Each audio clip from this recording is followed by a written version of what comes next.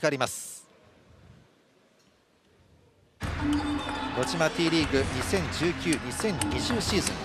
2位の TT 埼玉対4位の岡山リベッツ。第1マッチはダブルスです。岡山リベッツは森園三部という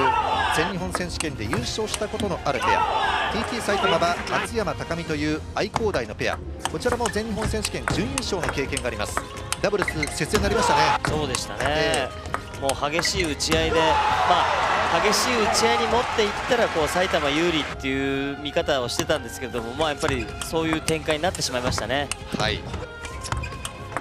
やっぱ岡山ペアはもうこれ2ゲーム目を逆転もう5連チャンで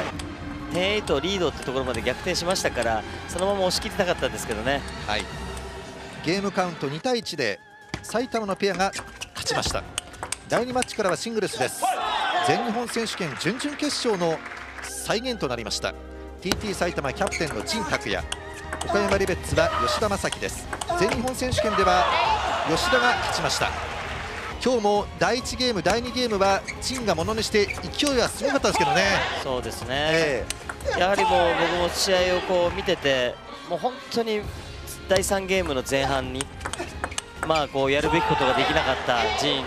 でそこを食らいついた吉田がもしかしたらこれ逆転があるんじゃないかなというふうに思った通りの展開になってしまいましたね。はい。ゲームカウント3対2で岡山リベッツ吉田が勝ちました。そして第3マッチは世界選手権団体戦の日本代表岡山リベッツ森園正孝とそして TT 埼玉はスウェーデンの、ま、天才と呼ばれている17歳のモーレゴード。これも見ていて面白いゲームでしたね。そうですね、えー、いやもうもう天才と言われてるから天才ですよ、えー、本当にもう多彩な技だったりとかいろいろなプレーを見せてもらいました。ただもうそれをやっぱ我慢して食らいついてた森園が最後の最後に自分の良さを出しましたから、はい、もう本当にもう頼れる日本代表だと思います。はいまあ、しかしあの T リーグで嬉しいのはこういった外国籍選手がもう本気でこの日本のチームのために戦っているという姿ですよね。そうですね、えー、もうあの若いモーレゴードにとってはもうこういう試合を積み重ねていることが、まあ、勝っても負けてもどんどん力になっていくと思いますよ。はいゲームカウント3対2ゲームオールデュースで森園が勝利しました。そして最後の第4マッチは岡山リベッツ吉村和弘そして TT 埼玉は松平健太でした。これももう本当に吉村の強打が入るのか入らないか。